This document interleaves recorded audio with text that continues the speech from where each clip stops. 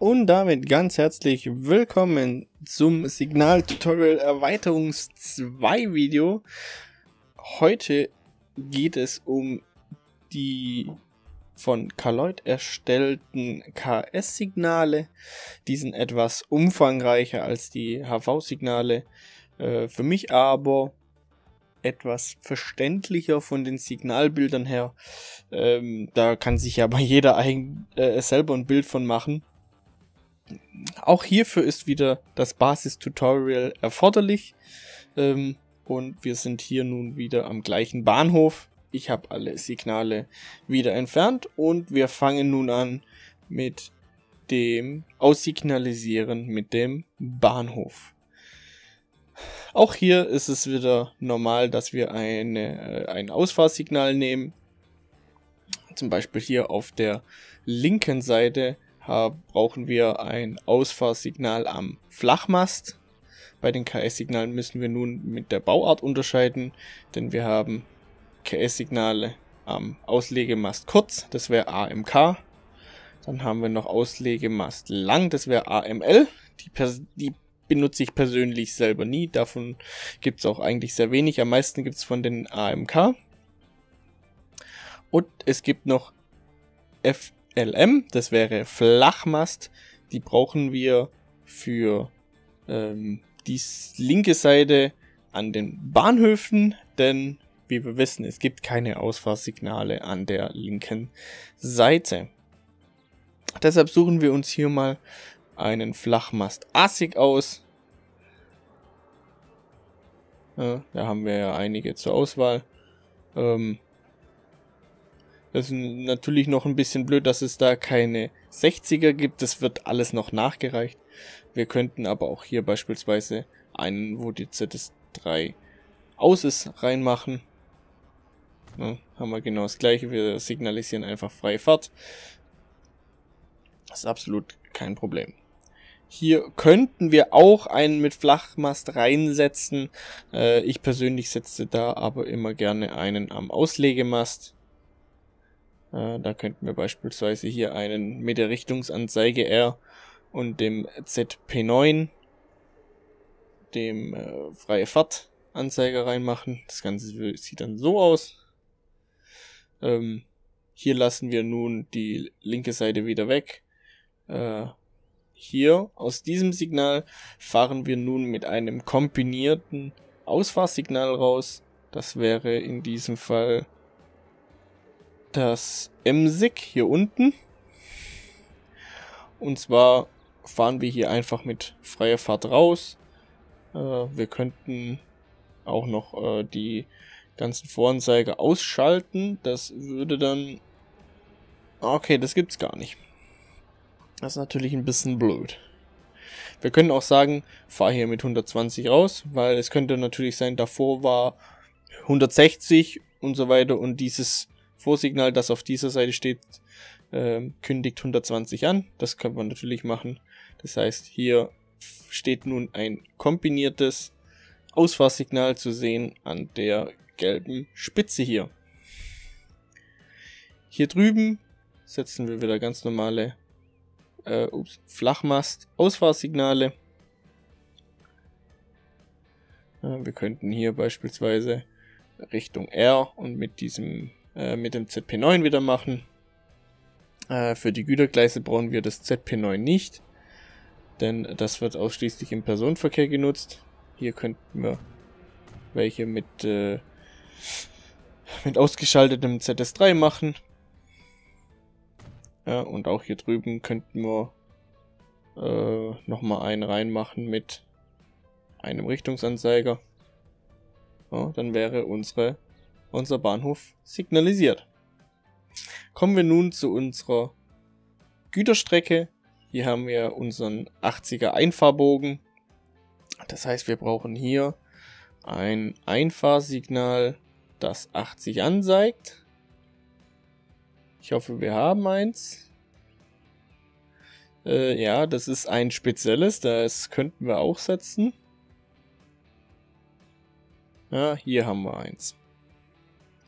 Hier sehen wir, es steht rechts und mit KS2 Das heißt mit Halt erwarten. Das können wir hier ransetzen. Und äh, ich persönlich setze bei den KS-Signalen immer beidseitig, denn das KS-System ist ziemlich neu und ich glaube, im KS-System hat man immer beidseitig signalisiert. Ich bin mir da nicht ganz sicher. Auf Nebenstrecken nicht, aber äh, da wir ja sagen, dass das hier eine, äh, eine Hauptstrecke ist mit Güter- und Personenverkehr, signalisieren wir auf jeden Fall beide Seiten. Gut, dann suchen wir uns wieder unseren Abstand raus. Oh, das war hier hinten. Und in diesem Fall kommt auf die linke Seite ein Auslegemast-Vorsignal, der uns, ich mache es jetzt einfach mal richtig, der uns, äh, der uns 80 anzeigt. Genau, den haben wir hier. Das ist einmal rechts und der hier ist für links. Und auf der rechten Seite kommt auch ein Vorsignal hin, das uns 80 anzeigt. Dieses schöne äh, Strichen hier außenrum heißt, ja, wir wissen, durch eine Geschwindigkeitsvoranzeige blinkt das KS-Signal. Und was beim KS-Signal auch oft vorkommt, ähm, man hat wirklich nicht an Signalen gespart ähm, KS-Signale werden sehr oft wiederholt. Ja, das heißt, wir verfolgen hier mal hier auf gerade Strecke, müssten wir jetzt nicht wiederholen. Aber wenn man jetzt hier als Triebfahrzeugführer herkommen würde, könnte man ja schon wieder vergessen, dass dort hinten 80 signalisiert wurde. Deshalb machen wir hier einen schönen 80er Wiederholer rein. Äh, dafür bräuchten wir den Punkt unten. Das wäre dieser hier. Und den setze ich immer kurz bevor die Kurve anfängt. Das wäre in diesem Fall vor diesem Oberleitungsmasten. Man kann ihn natürlich auch schon hier reinsetzen, ähm, weil die KS-Signale werden doch schon sehr oft auch an Hauptstrecken äh, wiederholt. Denn es könnte ja sein, dass dieses Vorsignal hier hinten noch rot anzeigt und so müsste man ja ganz, also mit, mit Schleichgeschwindigkeit oder mit Kriechgeschwindigkeit dann hier in die Kurve reinfahren, weil man weiß ja nicht, ob dieses Hauptsignal immer noch auf Rot steht oder ob es zum Beispiel schon wieder auf Fahrt steht. Ähm, deshalb könnte man dieses Signal hier wiederholen, denn es könnte ja sein, man fährt gerade am Signal vorbei und es wird grün und dann sieht man hier schon wieder frühzeitig, ah okay, Signal steht auf grün, ich kann nochmal beschleunigen. Ähm, wo es auch viel wiederholt wird, ist in Kurven, weil man da einfach das Hauptsignal nicht einsieht. Das war bei den HV-Signalen noch nicht so, da hat man dann einfach ähm, den Zug fahren lassen. Ähm, deshalb könnten wir sogar so frech sein und in diese Kurve zwei Wiederholer reinpacken. Ja. Weil ich sag immer so, ich fahre dann immer die Strecke ab ja, ich sehe jetzt dieses Vorsignal. Ah, okay, ich sehe schon das nächste. Ich sehe aber noch nicht das Hauptsignal. Also fahre ich weiter. Okay, ich sehe jetzt dieses Vorsignal. Ich sehe jetzt aber auch schon das Hauptsignal. Ja, das heißt, immer ein Vorsignal irgendwie im Blick haben. Ähm, dieses kann man weglassen, aber ich würde es jetzt einfach mal da lassen. Was ich auch schon oft gesehen habe, die linke Seite wird nicht so oft wiederholt. Da könnt ihr tendenziell sagen, okay, ich packe ein rein, fertig hat sich's. Es ist wirklich so, da ist nicht, da stehen sie nicht wirklich genau gegenüber, äh, weil man ja sagt, okay, auf der linken Seite sparen sie dann Geld und sagen, okay, hier, wir setzen nicht so viele äh, Vorsignale hin oder Vorsignalwiederholer, denn es wird ja eh so selten links gefahren. Aber da könnt ihr natürlich äh, fröhlich dran rumbasteln, wie ihr möchtet. Hier kommen natürlich, wie wir gelernt haben, an die Vorsignaltafel wieder die Backen hin. Kommen wir nun hier oben zu der Haupteinfahrt. Hier unten die, Gügel, die Gütel, nein, die Gütergleise. Ja, da kommen wir ja mit 60 rein. Das heißt, wir suchen nun ein Einfahrsignal, das uns 60 anzeigt. Es gibt, glaube ich, aktuell nur nicht so viele. Da bin ich noch dran, ähm, dass wir da noch einige mehr erstellen. Ah, denn 60 ist dann, dann doch schon eine beliebte Einfahrgeschwindigkeit. Das wäre jetzt natürlich blöd, wenn wir keins haben. Haben wir haben echt keins.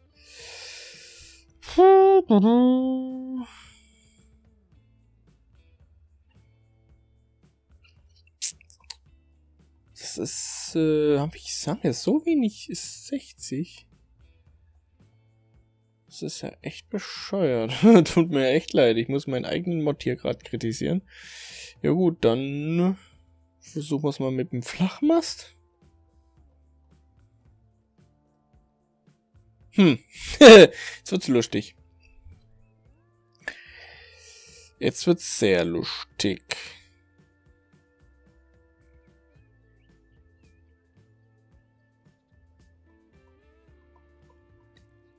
Okay, ich sehe schon, wir müssen mehr 60er machen. Wir haben ja überhaupt kein 60er.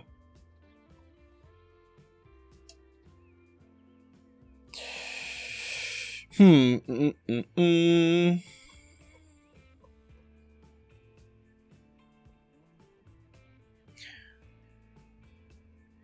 Okay, also dann ähm, stellt euch vor, hier würde 60 dran stehen. Na, bitte vorstellen äh, ja, ich, ich sehe schon, ich muss an dem Mod arbeiten. So, auch hier setzen wir dann die linke Seite. Ja, machen wir gleich hier oben. Hier fahren wir mit, äh, mit freier Fahrt rein. Oh. Hätte, äh, genau, jetzt muss ich erklären, weil wir haben hier einmal die Voranzeige und manchmal ja nicht hätten wir jetzt hier eine Strecke, die ohne Weiche in den Bahnhof reinführt. Das heißt, die Strecke geht eh nur geradeaus in den Bahnhof rein, ohne Geschwindigkeitsänderung. Äh, setzen wir das Einfahrsignal ohne Geschwindigkeitsanzeiger und Voranzeiger. Denn man kann eh nur geradeaus fahren und man kann eh nur mit dieser Geschwindigkeit weiterfahren. Ja, wenn hier, sobald irgendwo eine Weiche drin ist, könnte ja eine Geschwindigkeitsänderung drin sein. Ja, auch wenn wir diese Weiche zum Beispiel nie benutzen. Ja, das heißt, diese Anzeiger sind halt immer aus, aber sie sind halt da. Das ist wichtig.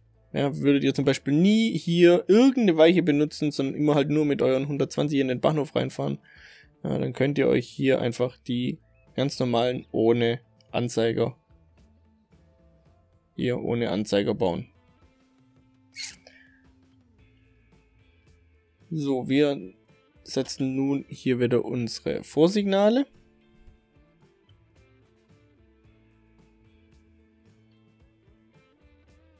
Und auch hier äh, setze ich auf diese Seite die.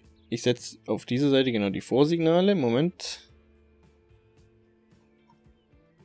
Denn bei den KS-Signalen gibt es, wie gesagt, noch eine kleine Spez äh, Spezialsache.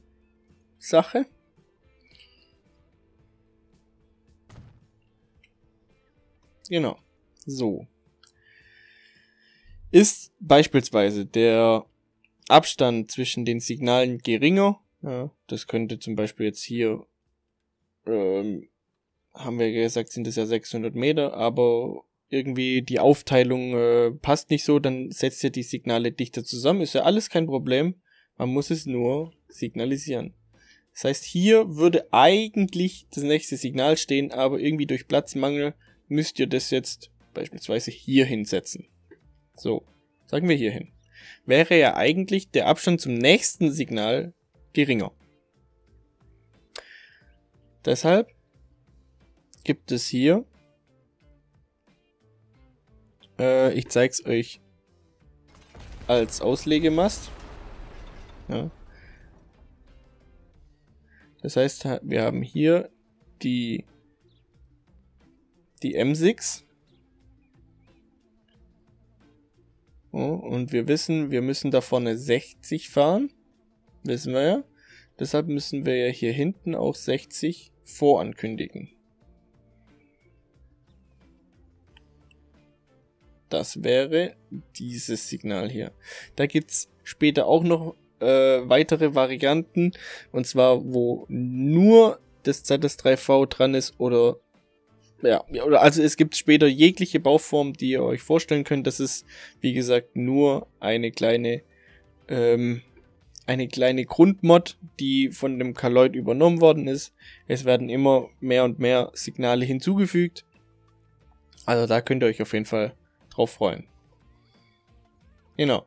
Würde das Signal nun dichter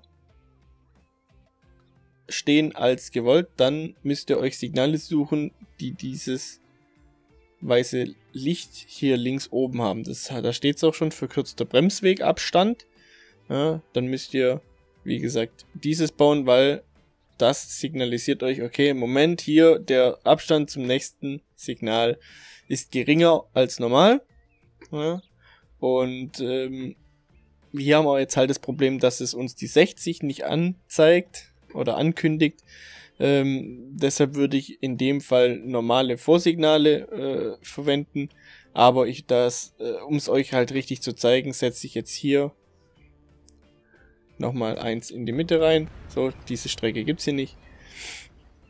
Das heißt, wenn jetzt hier ein Zug vorbeifährt, zeigt es oben an die Streckengeschwindigkeit 120 und am nächsten Signal wäre wieder 60. Oder wäre dann 60 besser gesagt nicht wieder. Ähm, die linke Seite signalisieren wir nur mit einem Vorsignal. Das ist die falsche Art von Signal. So. Und dieses Vorsignal, weil es wieder die Raut, weil es wieder diese Rautetafel hat, müssen wir beschildern. Das heißt, hier setzen wir wieder unsere Baken Oh, okay, die habe ich vergessen mit reinzunehmen. Es tut mir leid.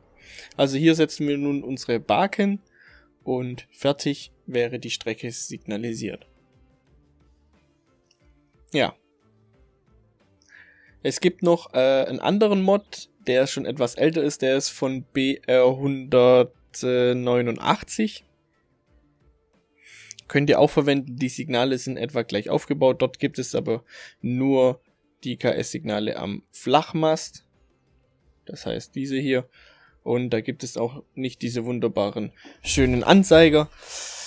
Aber ja, hier ähm, nicht zu viel wundern. Der KS-Mod ist noch etwas unvollständig.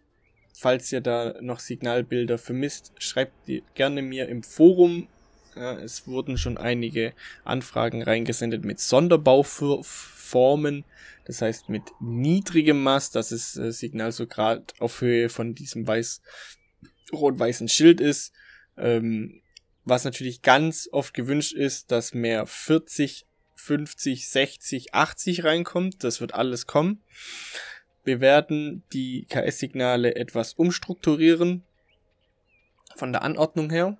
Ihr könnt, äh, also ihr müsst nicht mehr so viele Sachen downloaden, sondern ihr habt später nur noch einen einzigen Mod den ihr runterladet und könnt dann über die Mod-Option so viele Signale hinzufügen oder jegliche Art von Signale hinzufügen, die ihr möchtet. Ähm, das Ganze wird als Update vorgenommen werden und ähm, ihr könnt eure Signale weiterhin ganz normal verwenden. sollte alles nicht das Problem sein. Aber ja, die KS-Signale, das ist nochmal eine Hausnummer für sich.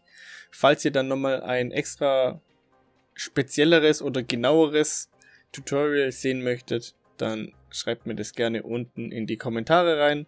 Äh, für jegliche Anfragen oder Kritik, für Kritik, Kritikpunkte bin ich jederzeit offen.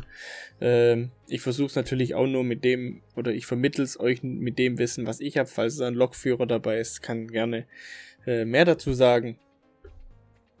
Und äh, es ist auch also ich persönlich finde es ähm, Signaltechnik ein bisschen schwer rüberzubringen, da man ja selber weiß, was dieses Signal bedeutet. Ähm, aber das dann in Worte zu fassen, ist ein bisschen schwieriger, als man es vielleicht anfangs denkt. Ja, man sagt einfach hier E-Sig, A-Sig dahin und B-Sig dahin. Ähm, ja, hier gibt es ja dann noch diese spezielle Form, mit dem M-Sig, das heißt die, wo in der Mitte halt stehen. Das wären die. Es, ist, es sind ja nicht wirklich B, äh, Basics, sondern äh, ich unterteile die ja auch noch zwischen. Ähm, hier sehen wir zum Beispiel M6 mit einem Punkt und wir sehen M6 mit ganz vielen hier unten. Ähm, das sind zum Beispiel M6, hier steht's ASIC. Ja, das sind lauter Ausfahrsignale, die auch wirklich nur am Bahnhof stehen. Das heißt, es sind kombinierte Ausfahrsignale. Und diese hier, wo nur M6 stehen, die stehen auf freier Strecke. Das muss man auch noch unterscheiden. Also die KS-Signale ist wirklich nochmal eine Mega-Rubrik für sich und äh, ich hoffe, dass es einigermaßen gut rübergekommen ist. Ansonsten wünsche ich euch noch, wie gesagt, für, für jegliche Getrick, für jegliche Kritik bin ich offen. Schreibt mir unten rein. Ansonsten wünsche ich euch noch eine schöne Restzeit und ja, genießt nun den Bau mit den Signalen und macht's gut. Bis dahin. Ciao.